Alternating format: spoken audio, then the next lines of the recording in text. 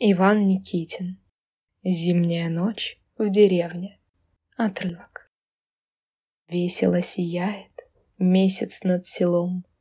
Белый снег сверкает синим огоньком. Месяц лучами Божий храм облит. Крест под облаками, как свеча горит.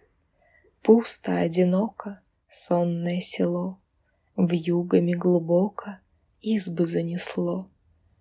Тишина немая в улицах пустых, И не слышно лая псов сторожевых.